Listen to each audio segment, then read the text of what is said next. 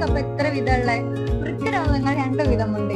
ഒന്ന് താൽക്കാലിക വൃക്കസ്തംഭനം അഥവാ അക്യൂട്ട് കിഡ്നി ഇഞ്ചറി രണ്ടാമത് സ്ഥായിയായ വൃക്ക പരാജയം ക്രോണിക് റീനൽ ഫെയിലർ മനുഷ്യ ശരീരത്തിലെ വൃക്കകളുടെ പ്രവർത്തനം പെട്ടെന്ന് കുറയുന്ന അവസ്ഥയാണ് താൽക്കാലിക വൃക്കസ്തംഭനം. അപ്പൊ ഈ രോഗങ്ങൾ വരാനുള്ള കാരണങ്ങൾ എന്തൊക്കെയായിരിക്കും? അണുബാധ അമിത രക്തസ്രാവം എലിപ്പനി ഡെങ്കിപ്പനി സർപ്പവിഷബാധ തുടങ്ങിയവയാണ് പ്രധാന കാരണങ്ങൾ.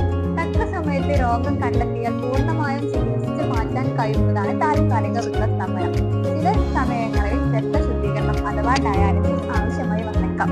രണ്ട് സ്ഥായിയായ വൃക്ക പരാജയം അഥവാ ക്രോണിക് കിഡ്നി ഫെയിലർ ഒരുപാട് മാസങ്ങൾ കൊണ്ടോ ഇനി വർഷങ്ങൾ കൊണ്ട് വൃക്കയുടെ പ്രവർത്തനക്ഷമത സാവധാനം കുറഞ്ഞ് പൂർണമായും നിൽക്കുന്ന അവസ്ഥയാണ് സ്ഥായിയായ വൃക്ക പരാജയം അഥവാ ക്രോണിക് കിഡ്നി ഫെയിലർ പ്രമേഹം അഥവാ diabetes blood pressure urinary tract infection pain കില്ലേഴ്സിന്റെ അമിത ഉപയോഗം തുടങ്ങിയവയാണ് പ്രധാന കാരണങ്ങൾ.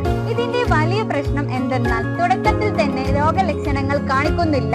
പിന്നീട് ഓക്കാനം അഥവാ നോസിയ ഉയർന്ന രക്തസമ്മർദ്ദം വിശപ്പില്ലായ്മ തുടങ്ങിയ രോഗലക്ഷണങ്ങൾ പിന്നീട് കാണിക്കുന്നുണ്ട്. സ്ഥായിയായ വൃക്കാരോഗങ്ങൾക്ക് മൂന്ന് ചികിത്സകളാണ് നിലവിലുള്ളത്. ഒന്ന് ഡയാലിസിസ്. ഡയാലിസിസ് തന്നെ രണ്ട് വിധമുണ്ട്. Peritoneal dialysis. പിന്നെ മൂന്നാമതായി വരുന്നത് വൃക്ക മാറ്റിവെക്കൽ ശസ്ത്രക്രിയയാണ്.